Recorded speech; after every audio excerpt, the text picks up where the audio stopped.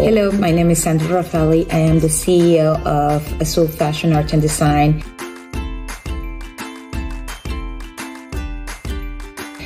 This year in January, we took the class 101 for 501s offered by Nonprofits First.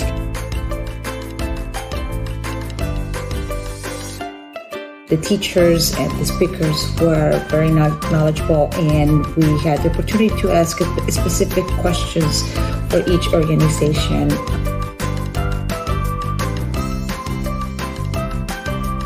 Everyone was open to learn about each other and from each other.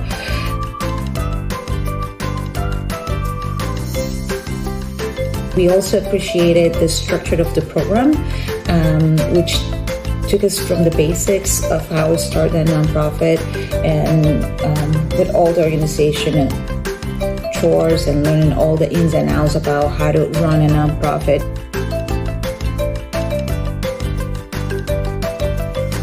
We got to learn about the different programs and opportunities that Nonprofits First offers to the community, and we got to connect with other fellow nonprofit um, colleagues. So we built a network.